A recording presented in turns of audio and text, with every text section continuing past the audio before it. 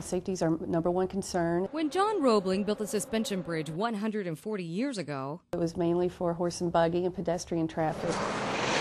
Not for a 22 ton truck or bus, the current maximum weight limit. Uh, this past year, we did $3.1 million worth of structural repairs on the Roebling. They also did a study to determine a safe weight limit for this National Historic Landmark. Uh, so, to keep from having to pay for structural repair, they just decided to lower the weight limit by half to 11 tons, which will allow for trucks like UPS or delivery trucks, but not tank buses. We at Tank realize that it's a very significant historic structure and we're most concerned with the safety of our passengers and the traveling public. So we immediately will comply with any any restrictions that are placed on the bridge. Detouring around the suspension bridge is something Tank planned for a year ago when it closed for six months for repairs.